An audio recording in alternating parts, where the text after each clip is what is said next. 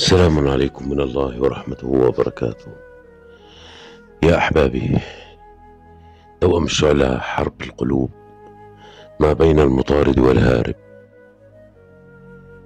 علاقات متعبة وأحزان وآلام وانتظار وتعب وألم وحسرة. بعد أن تزوجت وتركت ذلك المجتمع الذي كنت تعيش فيه وتبدلت الأوراق وتغيرت الظروف وتغير الزمن وشاءت الأقدار أن نتقدم بالسن وتتغير كل خياراتنا وكل انتقاءاتنا. ومزاجنا تغير. أصبحنا نحب الخلوة. بدأنا من الآن. نشعر بالأمان عند البعد عن الناس عن أكثر الناس. أن نعيش لوحدنا. نفكر في ذاتنا. نلملم أوراقنا.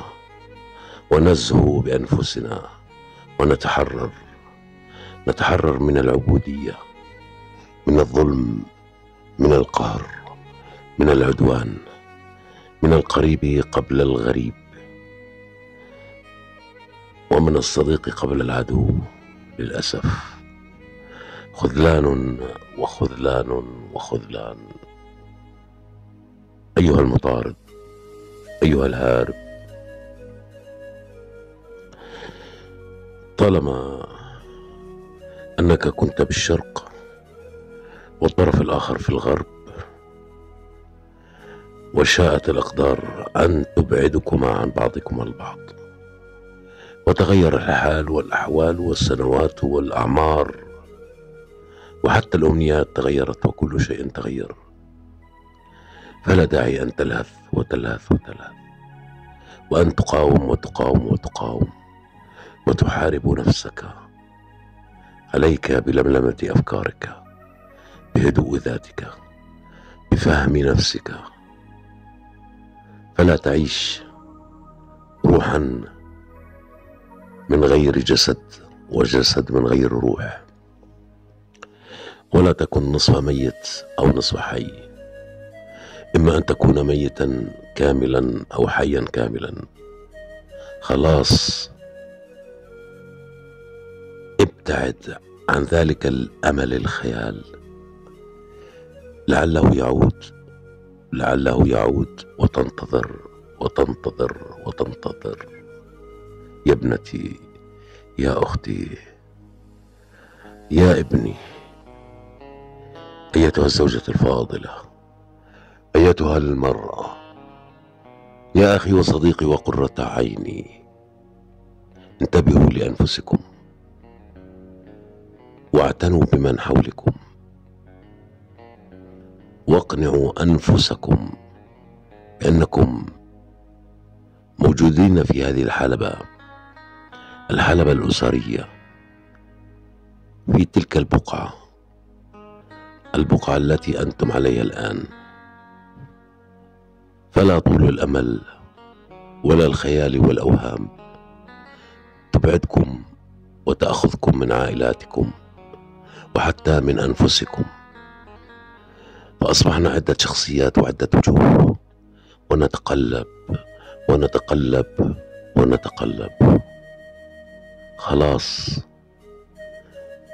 هو وجه واحد وذات واحدة وقلب واحد وعقل واحد. عش حياتك كما أنت وتأقلم بها وإن لم تستطع فالله كفيل بك. هو القادر على كل شيء. هو القادر على أن يرد الظالم عنك عن الذين خذلوك وطعنوك وتخلوا عنك في أتفه سبب وفي أخف موقف وفي أصغر موقف تخلوا عنك.